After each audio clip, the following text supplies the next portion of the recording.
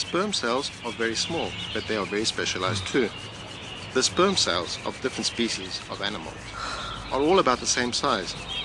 Those animals which give birth to live offspring are called live-bearing or viviparous.